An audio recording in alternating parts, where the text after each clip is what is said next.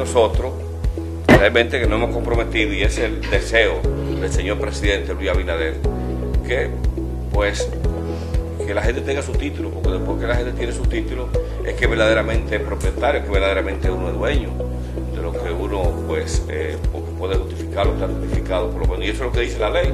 Y nosotros, cumpliendo esas instrucciones que siempre presidente nos, expresa permanentemente que debemos trabajar con la sociedad, con los ciudadanos, y más con ustedes que son gente que han luchado tanto para poder tener y llegar a este nivel, porque eso tiene un paso. La gente muchas veces ve el logro, ve la casa, ve el edificio, ve el funcionario, o ve la persona grande, pero tienes que ver qué ha pasado por ahí, ver el proceso, que es lo más importante.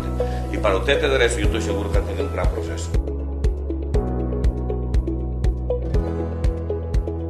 Gracias al señor presidente de la República, licenciado Luis Rodolfo Abinadel Corona, por haber permitido nosotros obtener nuestros títulos.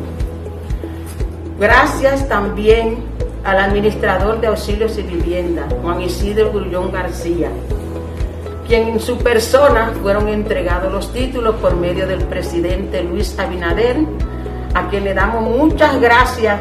Gracias, señor presidente.